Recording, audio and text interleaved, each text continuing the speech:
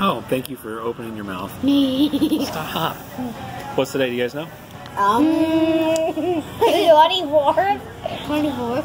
Of March. May? of what year? 2019. What did we do today? Um, hey, Dairy Queen went out of service. Well, not not right order, but went out of service, ate lunch, had Dairy Queen. Yeah. We were planning on doing Stop. We're, Back up. we were planning on doing spring cleaning, but we didn't. Because it raining. And it rained. I just said that. You guys are in full goober mode.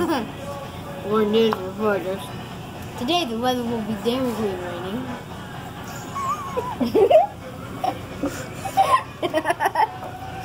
How does that make any sense at all?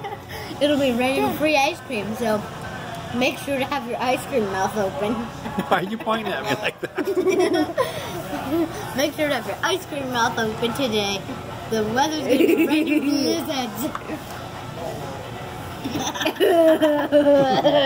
Nothing you're saying makes sense. We don't want your finger just framed up in the camera, do we? That is peacock neck. Mine, mine, mine, mine, mine, mine, mine, mine, mine, Pull a peacock neck for me. mine.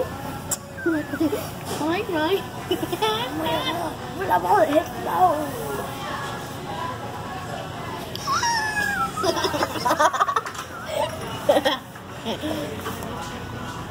I'm my weapon of defense. All right. Can you guys say bye? Bye bye me. Bye bye, Daddy. Me.